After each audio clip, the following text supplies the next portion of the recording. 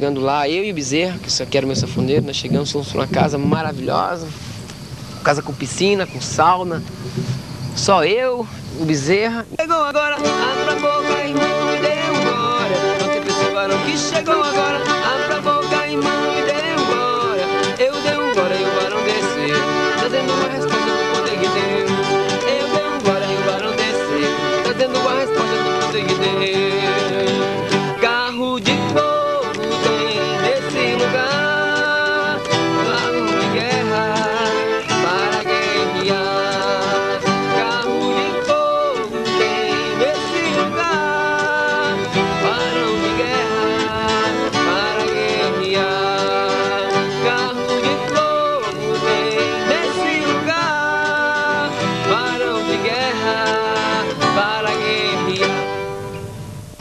Bom, eu sou Bezerra, sou sanfoneiro e como músico sempre tive um sonho na vida.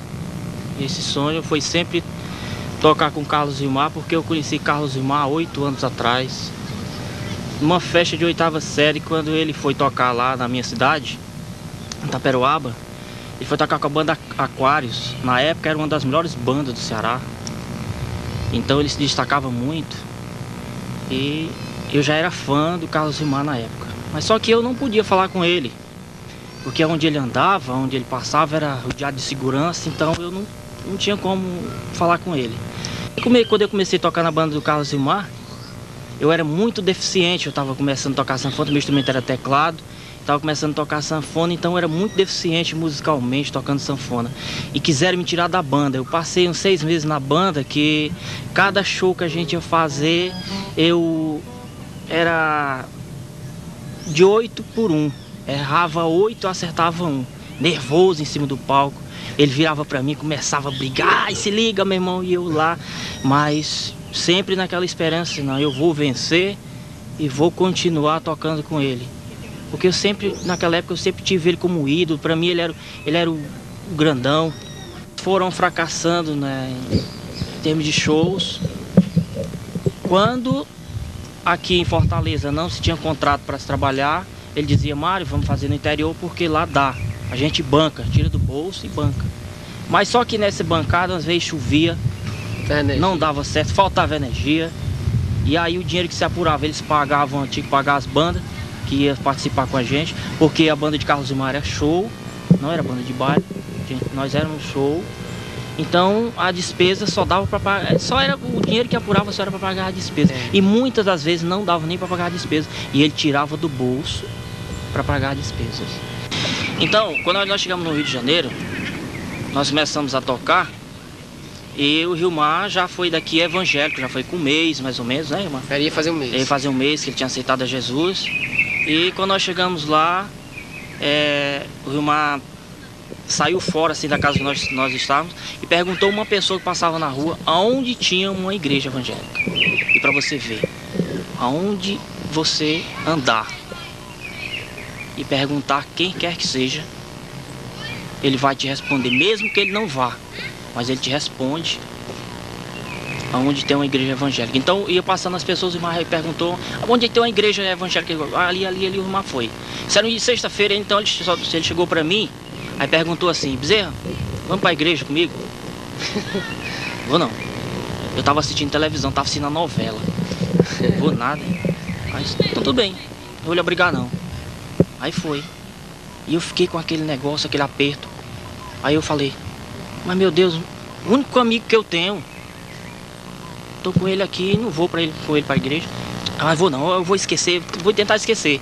Fui assistir filmes, TV comprar filmes, TV a cabo, comprar filmes para assistir, entendeu? E fui esquecendo. Ele chegou 10 e meia da noite e foi dormir caladinho, não disse nada. Como é que foi, igreja? Foi tudo bem, tudo bem. Quando foi sábado, tornou a pergunta, Bezerra, vamos para a igreja? Eu disse, Irmão, não tomei banho ainda não. Eu tava de bermuda. Eu tinha dado muito tempo para me tomar banho, me arrumar, mas eu não queria. Eu não sabia se era aquilo que eu queria. Aí foi me tocando. Quando ele saiu, eu chorei muito. Fui pra cama, chorei muito. Eu disse, Eu tô, eu tô sendo covarde. Não é nem com o Rimar, eu tô sendo covarde com Jesus Cristo. Aí quando ele chegou, ele foi ler a palavra para mim, porque eu não conhecia a Bíblia. ele levou uma bíbliazinha pequenininha, que é sua esposa, né? Andresa. Da Andresa, levou. Aí me entregava aquela bíblia na minha mão, domingo de manhã, a gente deitado numa rede na área. Então ele, cada versículo da Bíblia, A ele gente tinha deitado em duas redes. Tu É, tá em e tô não, então-. E ele do abria a Bíblia dele e pedia para que eu abri- abrisse a minha Bíblia. Mas só que eu tava abrindo, eu tava ali como se eu estivesse vendo assim um. Inglês, eu não sei nada inglês. Eu tava cego ali, eu não sabia. Cada versículo que ele dizia, abra a sua Bíblia em versículo tal, tal livro, tal, versículo tal. Eu disse, irmão, procurei para mim. Eu ia lá, É. eu procurava para mim. Porque eu não sabia. Eu não sabia. Porque assim, quando a gente não conhece a Jesus, a gente não sabe nem. A gente pega a Bíblia, é como se a gente pegasse um livro comum. A gente não sabe. É verdade. Então, quando chegou a noite, eu disse: hoje eu vou para a igreja. E ele não sabia. A gente sentou na, na mesa, jantou, ele orou, orou pelo jantar, orou por mim. E eu. Esse cara é crente mesmo. E pior que ele quer que eu vá com ele. E fiquei aquele negócio na minha cabeça. Todo crente é crente, quer que todo mundo vá. Todo é mundo isso? vai e eu assombrado, mas eu não queria ser crente. Deve ser uma coisa muito boa, que ele quer que eu vá também, ele gosta de mim. Aí eu fui me arrumar. Quando ele disse assim, tchau, tchau, já vou pra igreja. Ou eu também vou. Aí, tu vai pra igreja? Vou. Glória a Deus. E eu não sabia dizer glória a Deus, eu não sabia no que era. Aí peguei a minha bíbliazinha, botei debaixo do braço e fui com ele. Oração. E lá Deus tocou no meu coração. E eu aceitei esse Jesus que tudo pode. Glória a Deus. E hoje eu estou aqui, ao lado dessa pessoa maravilhosa, que tanto me deu força e que eu não esperava que a gente fosse chegar ao ponto em que a gente chegou hoje, né, Rilmar, para É. estar aqui, Dando um frente a frente, dando um testemunho de vida, de mudança que Jesus fez nas nossas vidas e que Ele pode fazer na sua também. É só você querer. Glória a É Deus. só você querer, ele pode fazer na sua vida também. Era isso que eu tinha para falar e vamos continuar. Vamos continuar orando e adorando a esse Jesus que tudo pode. Amém. Amém. Amém. Deus te abençoe.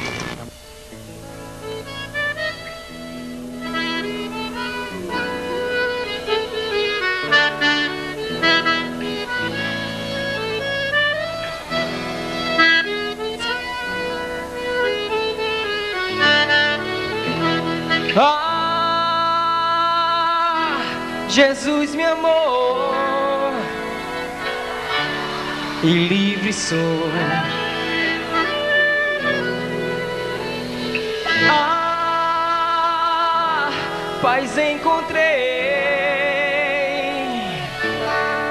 Jesus,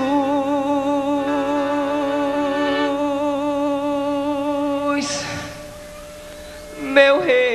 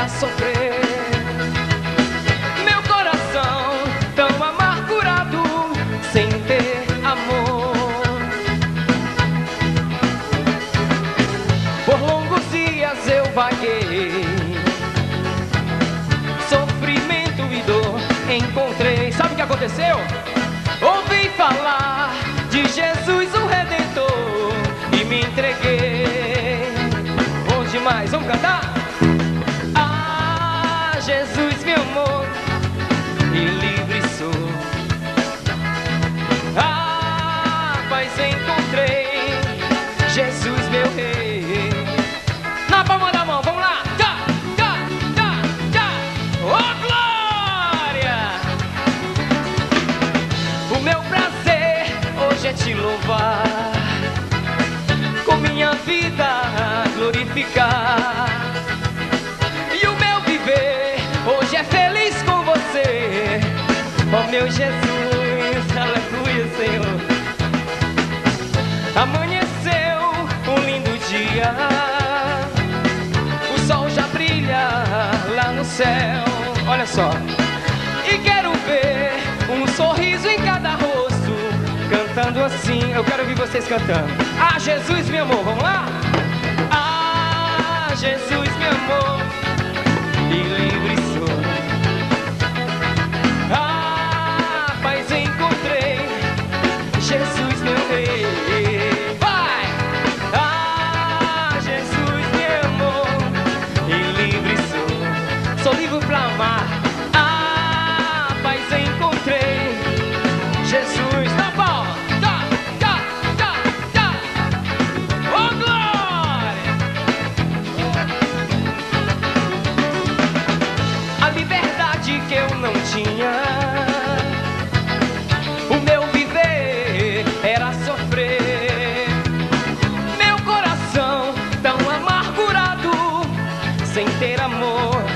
pensava que era feliz.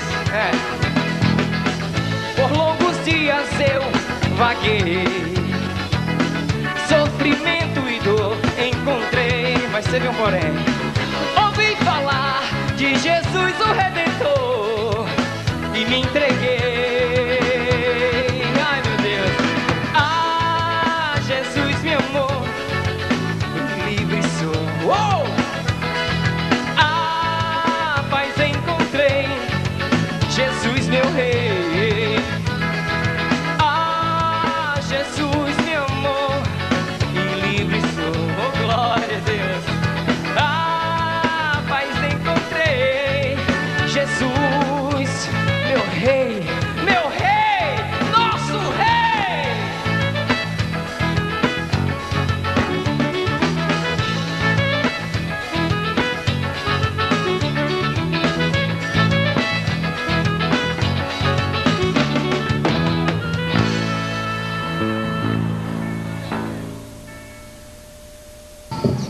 E eu estava muito feliz, porque eu estava ali sem nada, não tinha nada de dinheiro, mas estava onde eu sempre quis. Eu ia conhecer a Xuxa, eu ia conhecer o Faustão, ia fazer todos esses programas, então eu estava sorrindo com, com o tempo. E queria agradecer a Deus.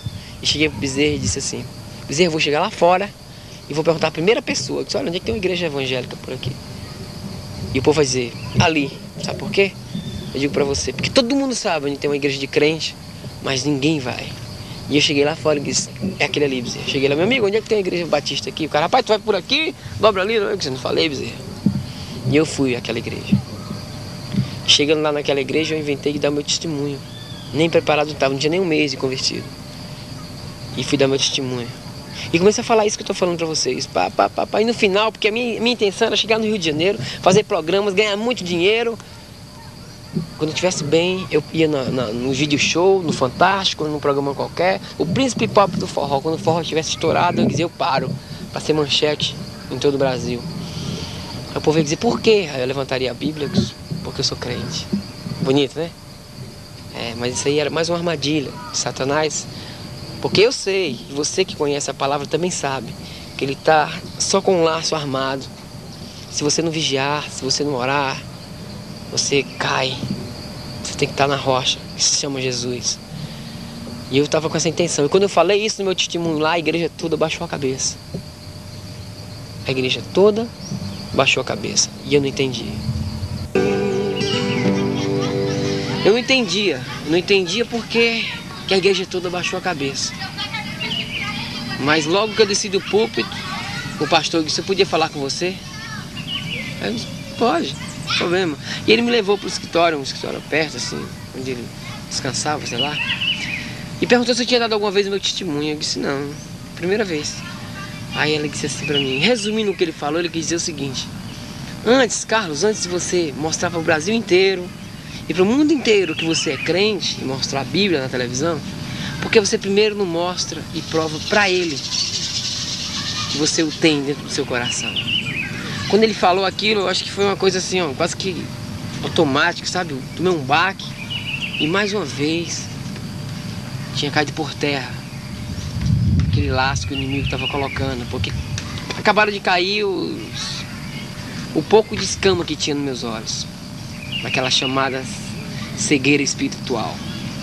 Ele falou aquilo e no mesmo instante eu comecei a, a, a recordar das minhas dívidas, Eu acho que nessa hora ele veio me acusar de novo. E aí, vai parar mesmo?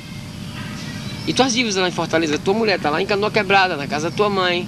Se tu não tem onde morar, teu carro tá para pagar, o cheque da tua mãe também tá para vencer. Os teus músicos te colocando na justiça e veio tudo à tona e eu comecei a ficar meio perturbado e eu comecei a chorar de novo. Eu chorava, ele notou e começou a orar por mim. Chegaram duas irmãs lá da igreja, começaram a orar, e puseram as mãos e oraram por mim. E eu disse, não, eu vou embora, eu quero dormir, eu quero descansar. Ele depois vem amanhã pro culto. E eu fui para casa, aquela casa lá, lá em Niterói. E voltei para casa, falei com Bezerra, não demonstrei nada para ele e fui dormir. Queria eu dormir, porque eu tentava dormir, virava para um lado, virava para o outro, porque as mesmas coisas estavam batendo na minha cabeça, as minhas dívidas. E era aquelas cobranças. E aí, o chefe da tua mãe, tu vai parar? Você é corajoso mesmo, hein? E aí? E aí, o que, que tu vai fazer da tua vida? E eu fiquei perturbado. Para resumir, eu não dormi a noite inteira. E orei ao Senhor para poder amanhecer, para poder anoitecer e eu voltar para aquela igreja. E aconteceu isso. Amanheceu, anoiteceu e eu fui para a igreja. Eu voltei para aquela igreja. Mas não foi para falar com o pastor, também não foi para falar com nenhum irmão, também não foi para tocar, também não foi para cantar. Eu fui lá falar com Deus. É, porque eu me lembrei que um dia eu te entrego meu coração a Jesus. Eu não conseguia estar daquele jeito, eu não, não queria estar daquele jeito, eu não, não, não aceitava estar daquele jeito. Pensando aquelas coisas e perturbado do jeito que eu estava. E eu queria saber uma resposta de Deus. Entrei naquela igreja dentro, enquanto todo mundo estava louvando, com mãos para cima, eu me ajoelhei. E não fiz só isso não, eu chorei. Não porque eu quis, porque meu coração estava estraçalhado, minha cabeça mil de preocupação. Chorei muito. Tem uma música que fala, quer vitória? Vai chorando, geme chora. Eu nem conhecia essa música, essa música e eu já fazia isso. E fiz isso. Me ajoelhei e chorei, pedindo ajuda, pedindo socorro, pedindo atenção de Deus. Porque eu não queria aquilo para minha vida. E eu tenho certeza que aquelas lágrimas todas não ficaram lá naquele chão, naquela igreja. Se tivesse ficado, hoje não estaria aqui contando essa história para você. Eu estaria aqui contando do poder e do amor desse Deus que é imenso. Não só por mim, por você também. Eu me levantei daquela igreja, logo que o culto terminou, quis sair escondido. Eu, eu pensei que estava saindo escondido. Eu ia sair pelo canto da igreja, saindo por trás de todo mundo, já escapei do pastor, falei, escapei dos irmãos, desci a primeira escadaria, quando eu desci a segunda escadaria, tinha uma pessoa lá, uma mulher, ser mais preciso, uma irmã em Cristo, a irmã Marta, estava lá no portão. E quando eu passei pela irmã Marta, ela botou a mão e disse, tudo bem? Eu ainda com a cara inchada de chorar, eu disse, é, tá. E ela olhou para mim e disse, o que é que você tem? Quando você está chorando que alguém diz assim, o que é que você tem? Aí é que você chora mesmo. Pois ela disse, o que é que você tem? E eu chorei de novo. Ela olhou para mim e disse, você precisa de uma oração de libertação. Você pode ir ali comigo? Eu olhei para ela e disse, eu vou para qualquer canto, eu não quero estar do jeito que eu estou agora. Eu não quero estar sentindo o que eu estou sentindo nesse momento. Eu disse, eu disse naquela época. E ela chegou, pegou na minha mão, foi até o marido dela e disse, filho, ele está precisando de uma oração, vamos na casa daquela irmã? Aí o marido dela olhou para mim, vamos. Aí eu entrei no carro, na frente ia, ia ele dirigindo, ela do lado, eu e o filho dela atrás. E eu chorando muito. Eu me lembro que eu, a gente ia no percurso lá no caminho, não sabia nem para onde é que eu estava indo. Sei que eu estava indo. No meio do caminho eu notei que ela olhou para trás e disse assim: Você não era para estar mais aqui não. E eu estava pouco ligando para isso, eu só sei que eu estava chorando, só sei que eu estava preocupado com todas as minhas dívidas. Daqui a pouco ela virou para frente, olhou de novo para trás e disse: Você era para ter morrido num acidente de carro, doença com mulher e é outra coisa, não estou vendo agora. Ela falou essas coisas, mas eu não dei atenção. Tá bom, chorei, continuei chorando, que eu não parava de chorar. E eu me lembro que eu cheguei num pé de uma favela, de um morro de uma favela lá no, em Niterói. Sabia onde é que eu estava. Desci daquele local, observei aquelas casas, aqueles casebres, como vocês sabem. Desci e comecei a subir aquela favela. Subi, subi. E eu não sei se vocês sabem a fama daquelas igrejas que tem lá no Rio de Janeiro, aquelas igrejas pentecostais. E era para aquele local que aquela mulher estava me levando. Eu me lembro que eu dedicara com uma, uma casinha muito simples. De um lado caiu um pedaço assim, um reboco de parede, alguns símbolos assim da pombinha da paz do Espírito Santo. Só Jesus salvo, bem humilde, e eu vi muitas pessoas lá dentro. Eu vi pessoas que de certo modo, de certa maneira de ver, eram miseráveis. Até pé no chão tinha lá. Mas eu não entendia como é que aquela, aquela pessoa estava naquela situação, mas quando eu olhava para o rosto, para os olhos e o sorriso daquela pessoa, quando dizia tudo bem, eu não entendia como é que aquele ser estava dentro daquele corpo. E foi ali. Eu entrei numa filazinha e tinha uma senhora orando por muitas pessoas. E chegou na minha vez ela disse, eu vou orar por você. Eu disse, foi para isso que eu vim aqui. E ela botou a mão na minha cabeça e começou a orar. E daquela maneira que os pentecostais fazem.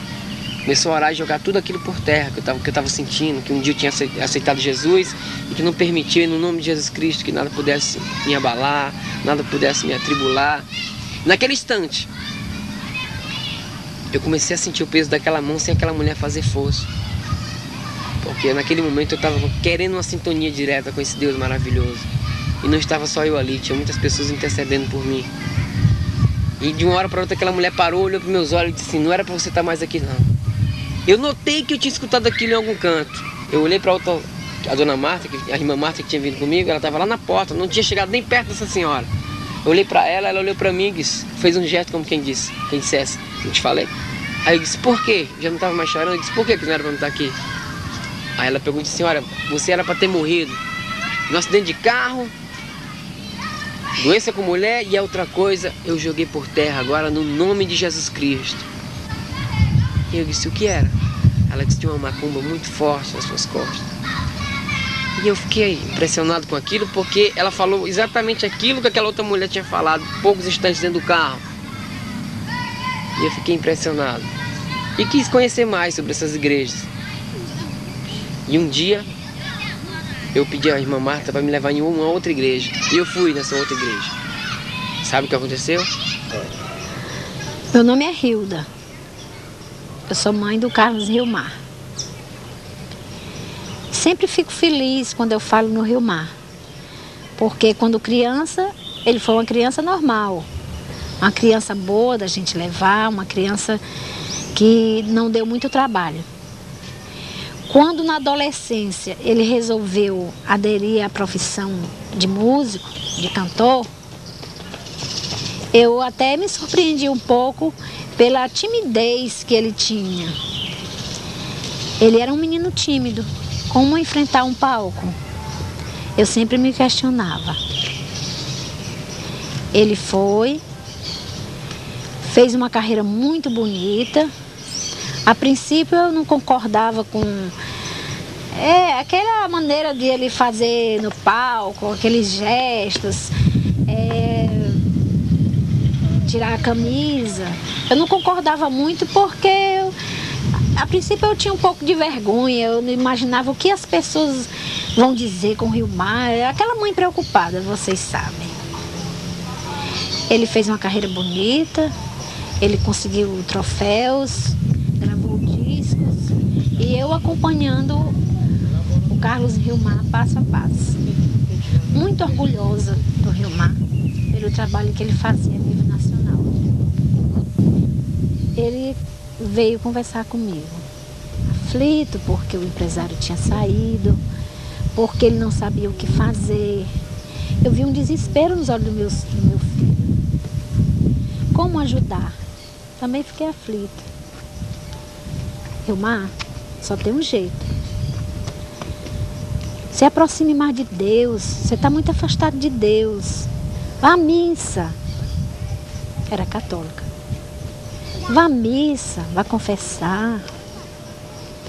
E vendo aquele desespero porque eu não podia fazer nada. Os dias foram passando e eu sempre vendo o Rio Mar com aquela Bíblia debaixo do braço, saindo, conversando com pessoas de outra religião. Eu tomava conhecimento através da minha filha, que quando ele chegava nas cidades, ele procurava igrejas, e eu comecei a me preocupar com isso. Eu era católica. E meu filho estava querendo ser crente. Um certo dia eu pensei e cheguei à conclusão de que deveria conversar com ele, porque dentro de casa já não havia mais diálogo entre nós dois. Uma certa vez eu disse até para ele assim: Meu filho, nós estamos falando línguas diferentes. Porque eu não conseguia entender a cabeça dele. Ele com aquela euforia toda de um novo convertido e eu sem querer que ele fosse um novo convertido para não sair da minha religião.